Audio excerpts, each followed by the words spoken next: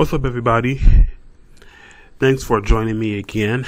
And uh, today, I wanted to do a presentation on cosplay photography, ordinary to stunning.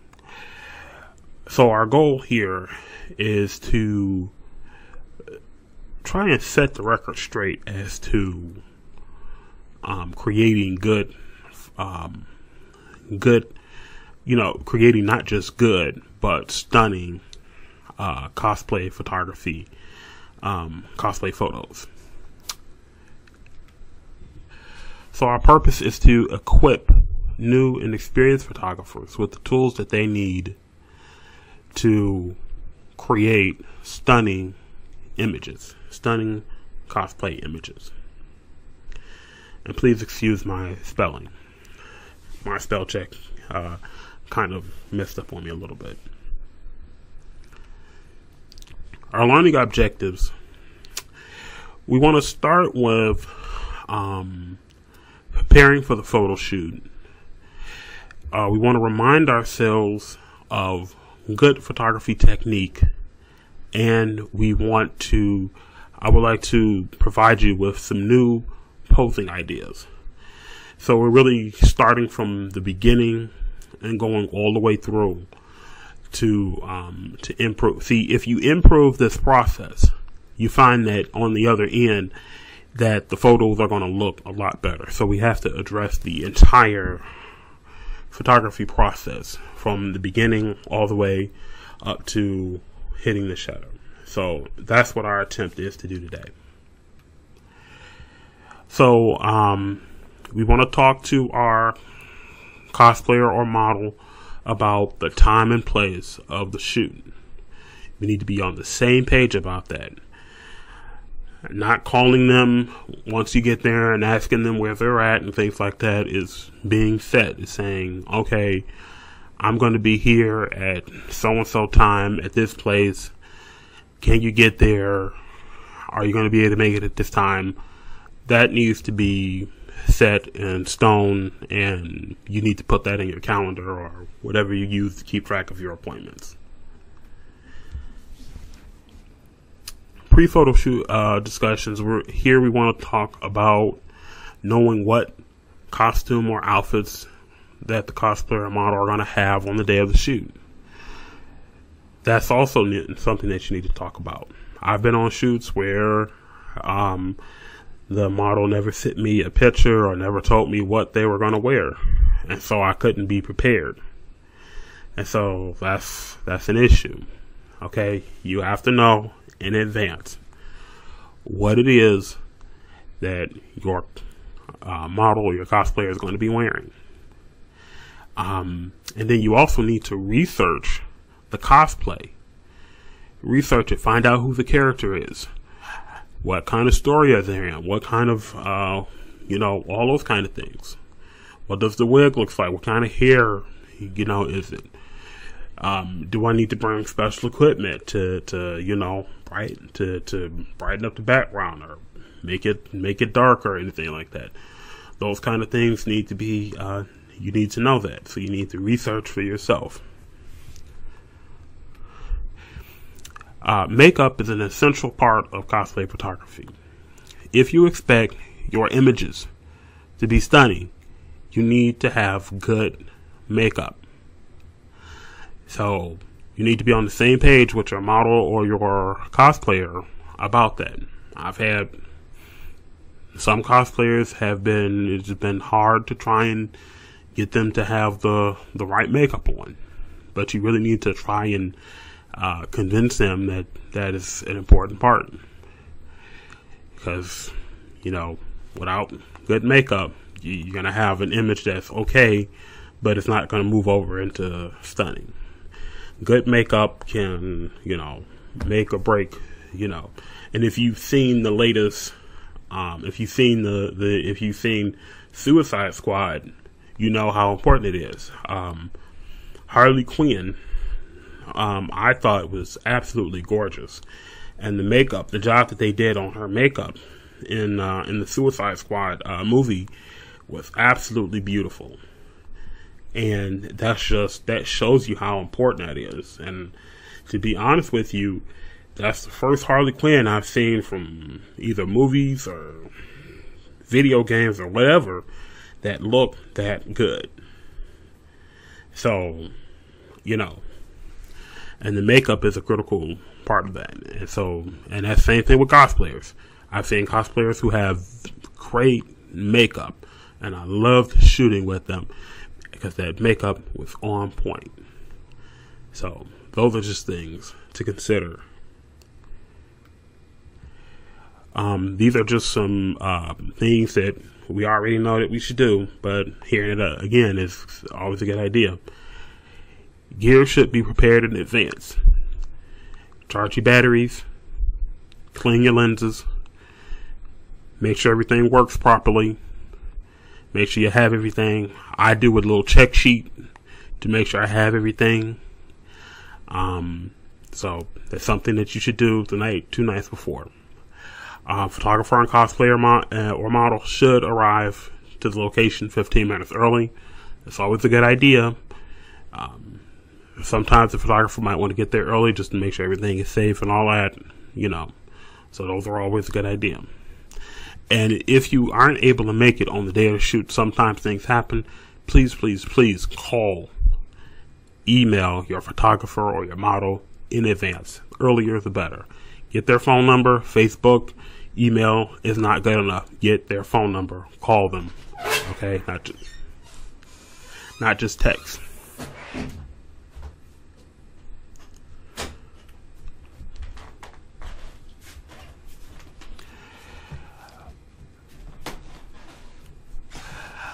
Another important thing is holding your camera correctly. I don't know how many times I've seen photographers hold their cameras incorrectly, and then I look at their images and they're blurry as heck. So, um, very simple. Tuck those arms in. Um, hold the lens at the bottom. Don't don't squeeze the lens. Just you know, kind of hold it like you're you're holding a um, like you're holding a, a baby um, so that you can be able to turn and to turn and zoom in or zoom out or, or manual focus if that's what you do. If you're um, if you're shooting in portrait mode, um, then you want to again have one arm tucked in to your chest, the other arm you want to um, have it on the shutter button and try and hold it as steady as possible. Um, and make sure that your uh, your legs um, you know, your your whole body is meant to help you steady that camera so that you can get a nice sharp image. Photography techniques, framing, framing perspective, very important. Um, I'm not going to spend a lot of time talking about all of the other, you know, things in framing, but you can just take a look at these pictures and you see that in this shot, it's in the rule of thirds. This is going more towards the right of the um, um, more towards the right of the frame, and um, it's just in, just important that you know where you want your subject. Um, you know that's something very important.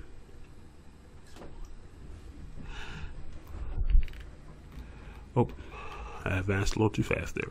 Okay, so this image is more towards the center of the frame. Um, and uh, you can, you know, it just shows you another place that you can uh, that you can uh, that you can put the put the image. Um, this image, I was actually standing over her, over um, over this cosplayer, and um, so it kind of looks like I'm I'm up over her a little bit, but still towards the uh, right of the frame, so it fits within the rule of thirds. So you know, again, that's what you can what you can do, um, and it's about the same thing here.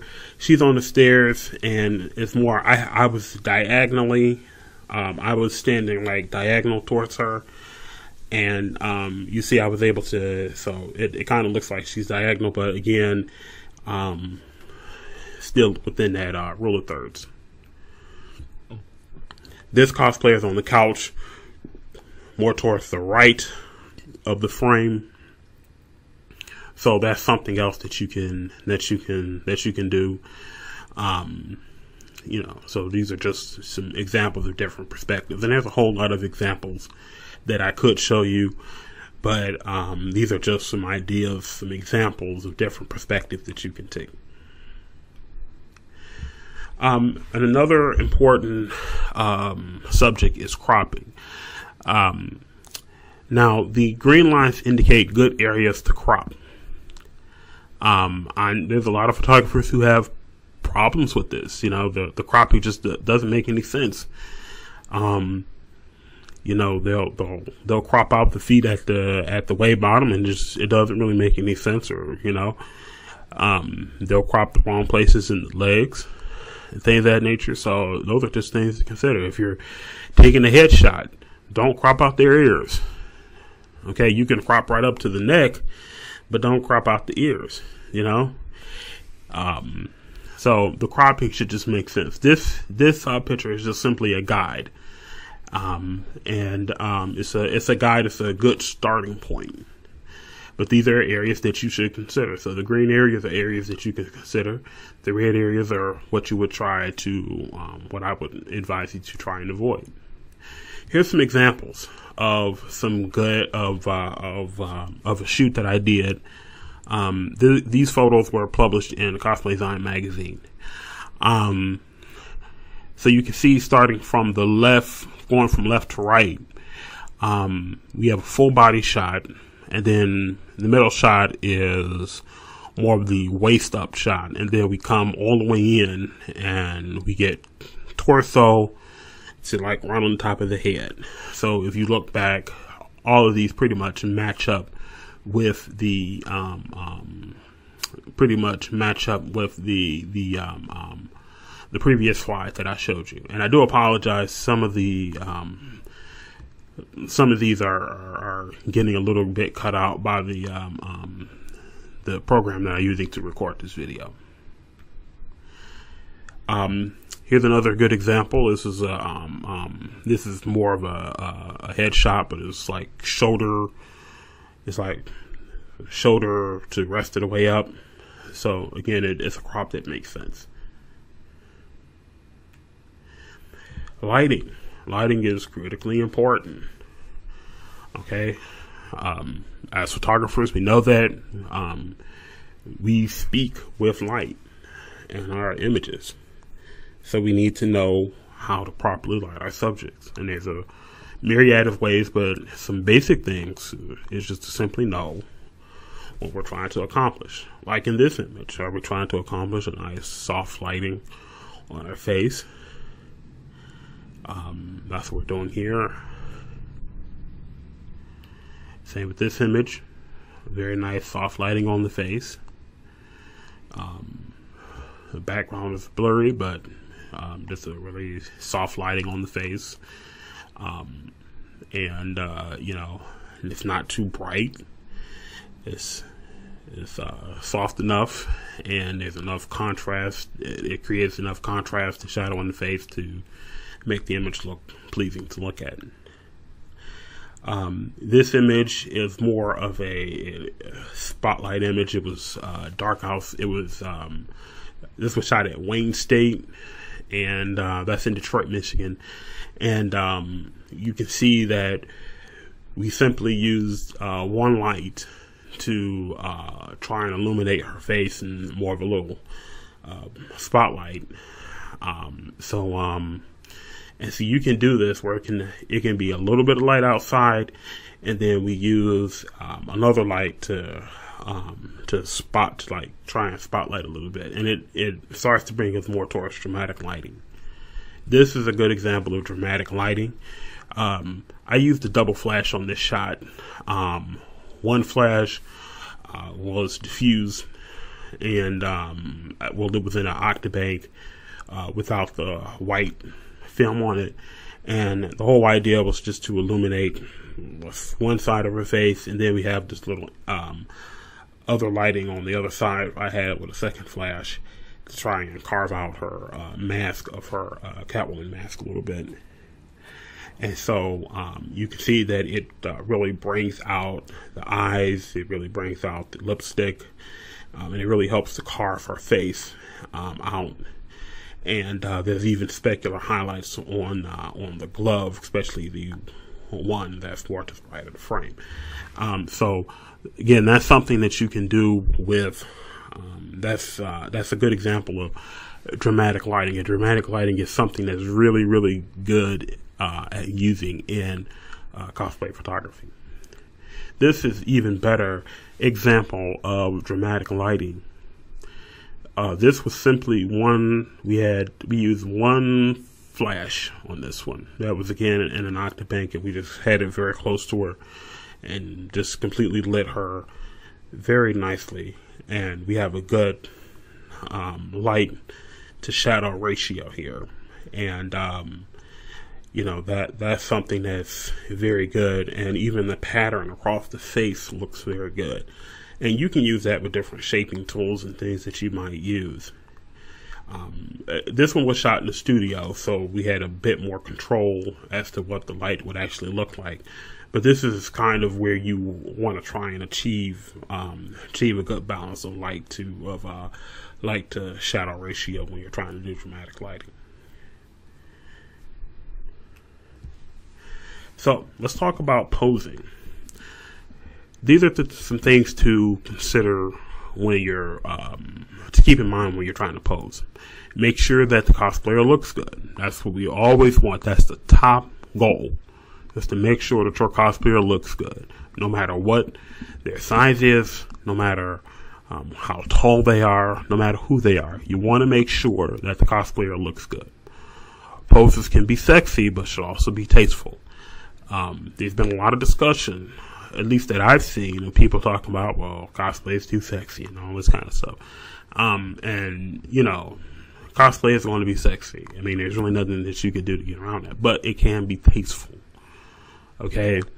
Um, you don't have to do, you, you don't have to, you know, put your cosplayer in a very uncompromising position and take photos of them that they might regret in a couple of years. So, you know, um, so, sexy but tasteful. Demonstrate the pose to your cosplayer. Demonstration is the best thing that you can do. It's generally not a good idea to touch your cosplayer. Um, there's, uh, you know, if you're friends with them or have known them for a long time or something like that, um, then they may give you some leeway on that role. But generally, the rule is that you don't want to cut, touch your cosplayer. So the best thing to do is to demonstrate it to them. So that means that you have to know the poses. Allow your cosplayer to modify the poses so they can be more comfortable. You know, I think that's really important. Let your cosplayer experiment with the with the pose. Show them a general pose, and then let them modify it a little bit. Let them put their foot someplace else or adjust their ankle or adjust their hand somewhere. You know, uh, let them let them kind of experiment and make the pose their own. It can be more comfortable and they'll look better. Remember, every person has a different size, and everyone can look good in cosplay. And that goes back to my first point: is that everybody can look good.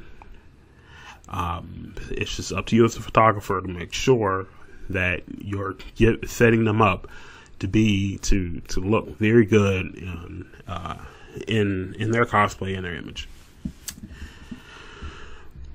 The pose can make the photo, and a lot of times you may be working in the background, but uh, that that may not be boring or something like that. But that pose is going to make the photo.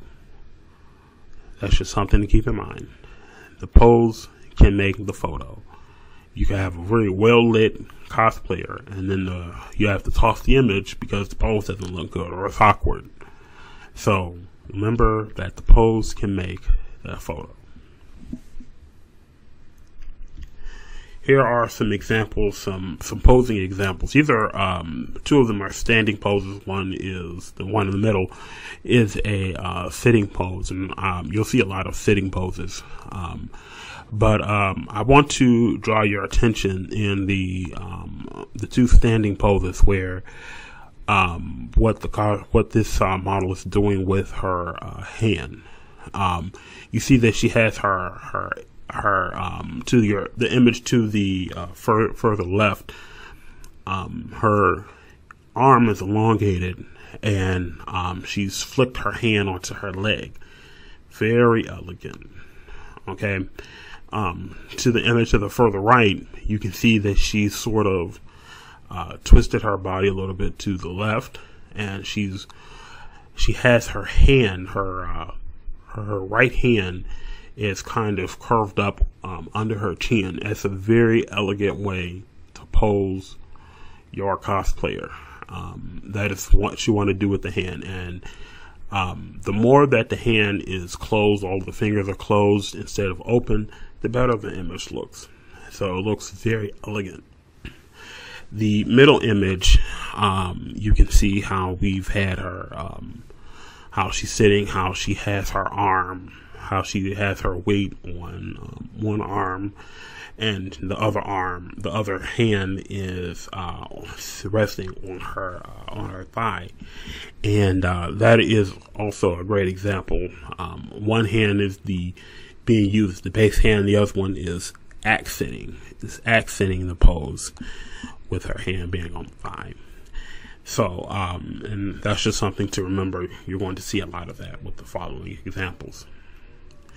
Um, another great example of uh, this is another sitting pose. Um, I want to draw your attention to uh, her legs. Well, let's talk about her hands first. Um, the hand that she has resting on her knee, and it's just you know, and then the other hand is she's, you know, she's um, holding herself up with it. So, you know, again, that's one hand is serving as the base, the other serving as the accent. Um, but I want to draw your attention to the legs. The legs are forming triangles. Shapes in photos are very, very interesting to look at. And even the image itself, if you take the image as a whole, you can see that it's forming a uh, forming a, a triangle you can see the three sides going from the bunny ears down to um, uh, down to her uh, thigh, and then running from her thigh to her foot, and then from her foot all the way back up to the bunny ears. You see that's a triangle. And then both of her legs are forming triangles as well. And so you see that we have three triangles in one image. This is a pose that I really like to use a lot because uh, it accomplishes that every single time. So shapes are something that's very, very important in cosplay. I mean, in any kind of photography, and using uh, using the body to form shapes um, is a skill that is that that you really have to work on and develop because it takes your images from ordinary to stunning without much effort. Here's another great pose. This is laying on her side. Um, I want to draw your attention again to the legs. Um, the uh, one leg is serving as the base leg. The other leg, the one that's on top, is serving more as an accent. Um, and uh, again, that's that's something that's important. Just so you can do it. The same thing with the hands. Um, and and her hands, her elbow, is serving as the base, and um, her hand is actually accenting when it's actually t- uh, grabbing a little bit of the wig, and the other hand is resting on the side. And you can just see how elegant and gorgeous it looks. And so this is again another type of pose. Um, now this pose usually has the uh, the base leg is usually stretched out, is usually uh, fully uh, straight with the um, with the accent leg resting on top of it, forming a 90 degree um, uh, angle. Um, but we, but again, I let her modify it a little bit, and we still got a very nice, uh, a very nice image out of it.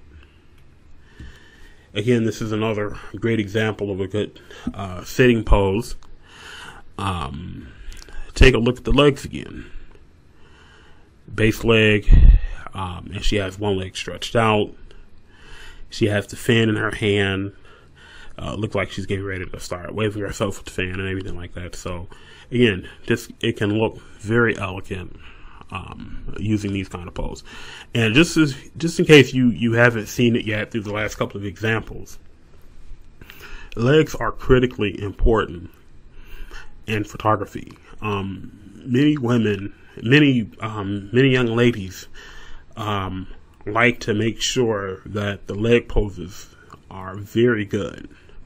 So um, that's something that you want to pay attention to because again, if you look in a lot of different fashion magazines, the way that the legs are posed are extremely important. So again, another great example of you know of the different kind of elements that we've been talking about. You know, and so um, you know, now she actually doesn't really have on any makeup either. She doesn't really have on any makeup, at least not in this shot. But um, but you can see it still looks pretty good. Um, you know, a very well put together cosplay. But the pose itself, this is just another way of laying down and doing a great, uh, a great pose that way. Um, this sitting pose, you can see how the legs are kind of staggered. The hands are in the, are in the, um, are in the, um, um her, her, her, um, are in her waist, uh, sitting very elegantly and um, even how she has her head turned and everything like that, and looking up uh, from the camera because I shot I shot um, I shot standing over her uh, for uh, that's how I got this shot, and so that's just again something that you can consider doing. Staggered legs are very very elegant. Sitting down, standing up, sitting in a chair. There's a lot of ways that you can do that, but again, focusing on good leg posing, good hand posing, uh, bringing all those elements together with having a great cosplay and good makeup helps you to get a stunning image. Um, this is um, this was shot at Youmacon last year, and again, uh, I want to draw your attention to her back. Look how it's arched that's one of the things that we like to do in that I like to do uh, as a photographer is ask the model to arch their back. The reason why we ask them to arch their back is that it naturally lifts the chest. Not asking them to poke out their stomach or poke out their chest or something like that. Just asking them to arch their back. More respectful than asking them to do something like that. Um, but it, uh, um, this is something it, it helps to create, give that curvature in the back that you see in a lot of uh, fashion magazines. You know, and uh, again, she has one leg that's serving as the base, the other serving as the accent. She has one hand with the gun that's that's on her uh, base leg, and another one that's serving as an accent. Um, so all of these different elements that you can see are all brought into this uh, into this image, and these are all the things that you really have to think about and put together when you are posing your model. Again, same thing here. All the elements that we talked about. She's laying on the base leg. The leg on top is is arched a bit, so it's serving as an accent. Her arm, she's her weight is on one arm. The other hand is serving as an accent, and um, you can kind of see that she's arching her arching her back a bit. So again, all of the elements that we've been talking about are there. And you can use these any kind of way. And you can mix and match them. But these are all the elements that you need to consider um, having in your uh, in your um, that you need to use in your images. So I want to thank you guys for joining me for this uh, presentation. Um, you can visit my website at stuckeymedia.weebly.com. Um, there are links to all of my social media Facebook, Twitter, Instagram. Please follow me on those. Of course, like and subscribe to this video. I will be doing others. Thank you so much for joining me, and we'll see you in the next one.